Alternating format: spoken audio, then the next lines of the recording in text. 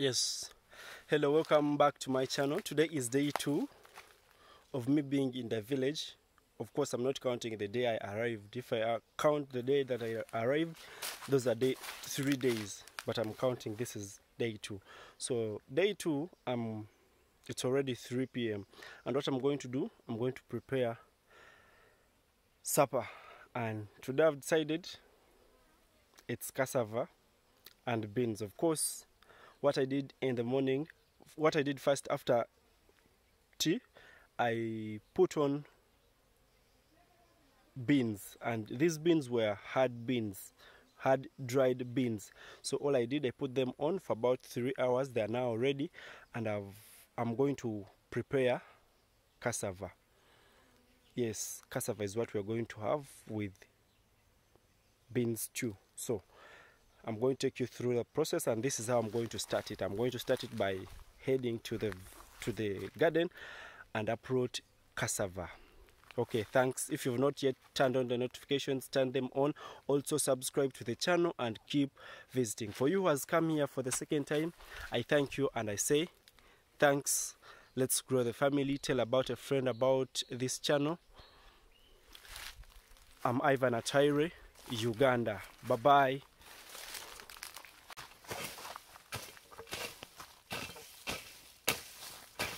Cassava is a root tuber, meaning we have to look for it from under the ground and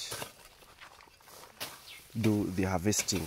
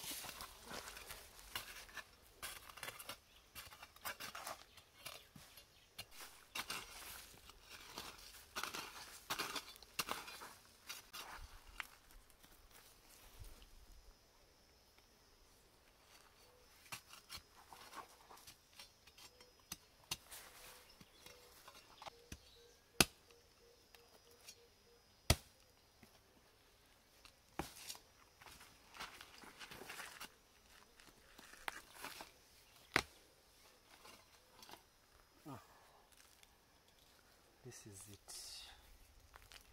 Nice. After getting cassava, I always make sure that I cover where I dug and I make sure there is some plants I cover within there. These plants will rot and make the soil fertile. Organic manure.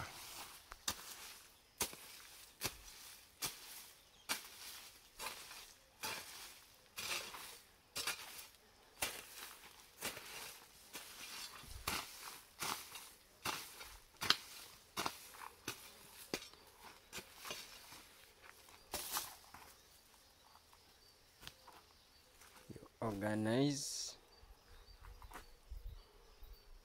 Terek sana. Terek sana.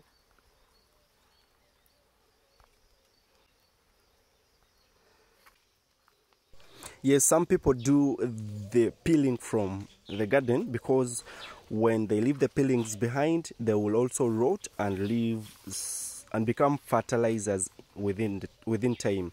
for me i'll take them home and make sure that i peel from home do the preparing from home and because there are different animals like goats and pigs at home which do eat these peelings. Yeah that's why i took the cassava home. The other remainings can be dried and get cassava flour in future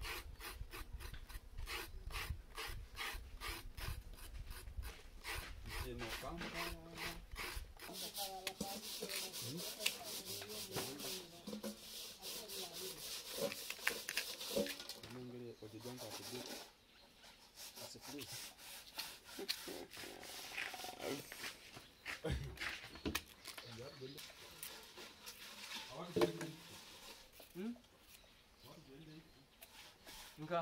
Ah. Bakuleteire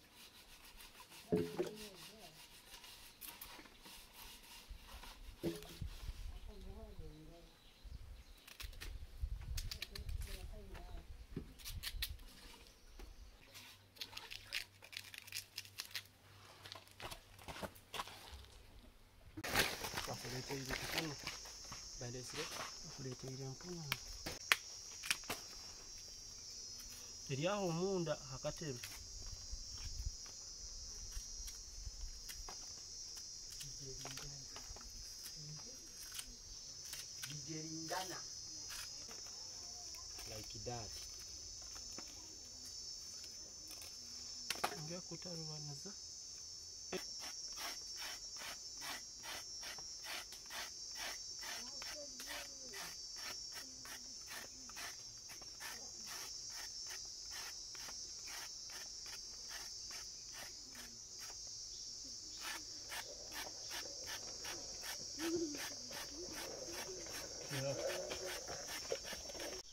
yeah these are the remainings that can't be eaten because they are they're not soft.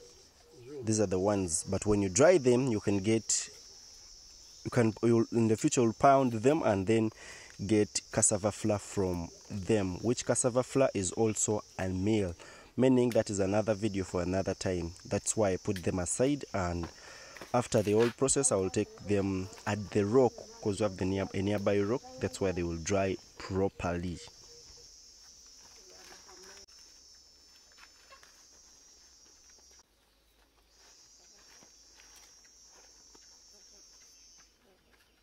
ray á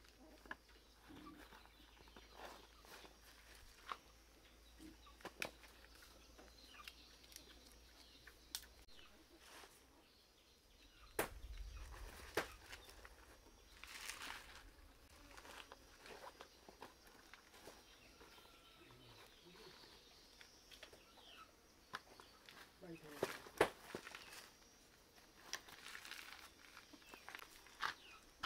はい。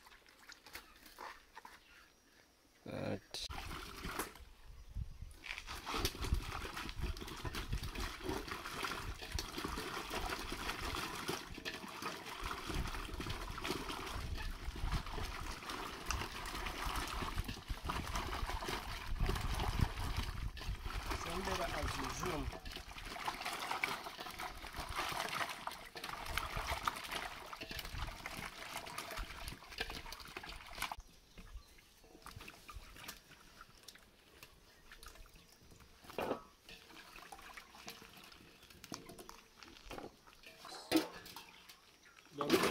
Kamu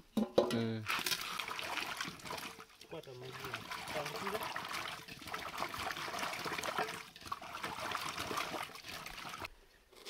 we use banana leaves to cover the food and these banana leaves have a stain. You can't use them with that stain. That's why i had to remove the stain such that they can easily be folded to cover our food such that we don't lose steam because it's steam that cooks food and these ones protect most of the steam and let a little go and that's how cooking should be done.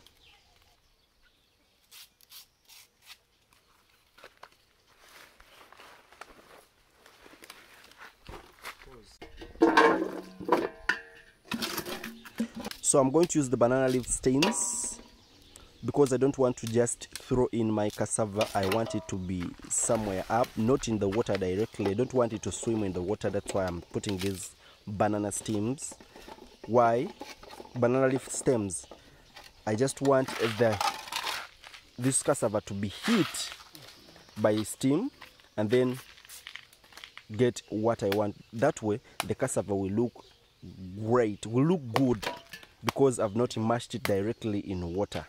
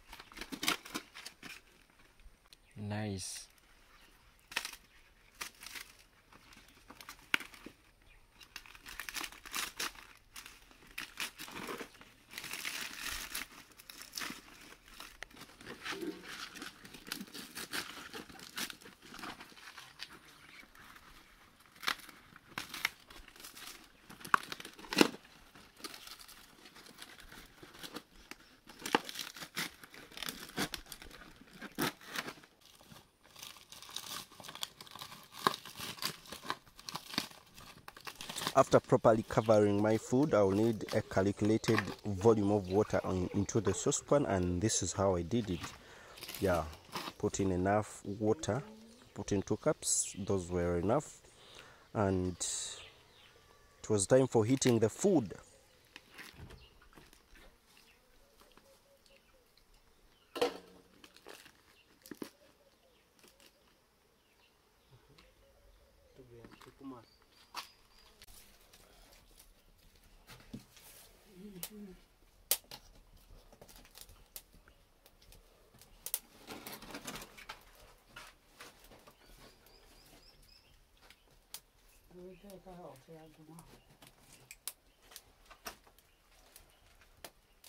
Setting the fire and put my saucepan on. That's how it goes.